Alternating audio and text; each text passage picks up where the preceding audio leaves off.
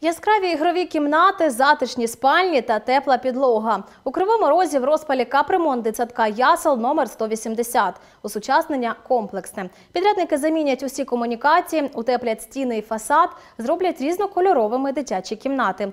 Як змінюється дошкільний заклад у нашому наступному сюжеті. Дитячий садок Ясла номер 180 – один з найбільших у металургійному районі Кривого Рогу. У закладі 11 груп, які відвідують понад 200 дітей. У меня ходил мой старший сын в этот садик, э, с самого ясельки до самой старшей группы.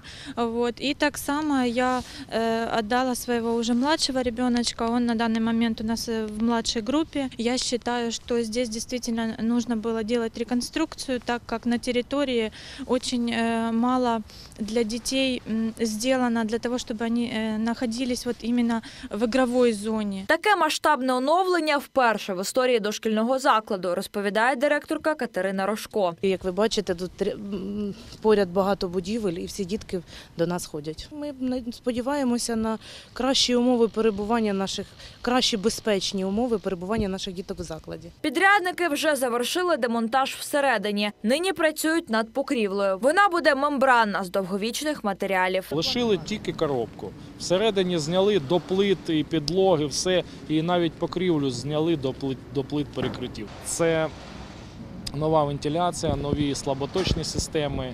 Е, Тобто це будуть нові групи, новий садочок сучасного рівня з меблями, з оформленням, Дитячий садочок буде енергоефективним. У будівлі утеплять стіни, встановлять енергозберігаючі вікна та облаштують вентильований фасад. А в кімнатах на першому поверсі облаштують теплу підлогу. Спальні та ігрові осучаснять і зроблять різнокольоровими. Також е, заплановано в цьому сучасному закладі сучасний харчоблок і е, дуже цікаві вуличні.